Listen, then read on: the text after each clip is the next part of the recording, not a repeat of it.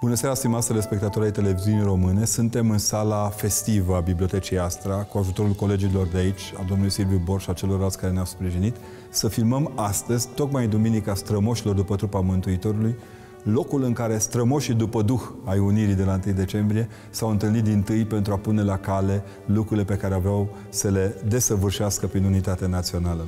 Suntem în sala în care se spune după tradiție că s-a cântat din tâi românește și s-a rostit din tâi public românește, dar mai cu seamă în sala în care copiii au colindat din tâi mai marilor zilei în limba română, bucuroși, fetițe și băieți deopotrivă. Suntem, dacă vreți, în plin exercițiu de teologie istoriei. Ni se dovedește odată, prin duminica aceasta a strămoșilor după trup, și prin această sală în care ne aflăm, că nu suntem accidente genetice.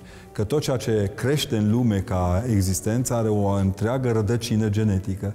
Nu există niciun act istoric fără un act istoric anterior și că Dumnezeul nostru, care este un Dumnezeu al slavei și al întâlnirii cu omul, n-a venit aterizând de nicăieri pentru a ne duce către nicăieri.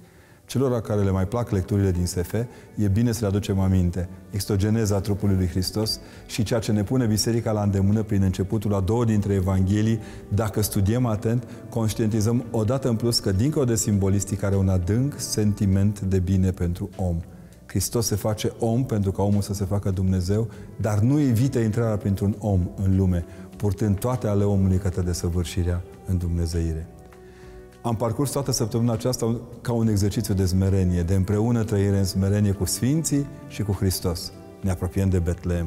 De pe culmea zilei de astăzi deja vedem bine Betlehemul. Nu mai sunt multe zile, dar sunt și mai puține nopțile pe care le putem petrece în rugăciune de dragul Mântuitorului Hristos. Se vede ajunul. Mâine este o nouă zi.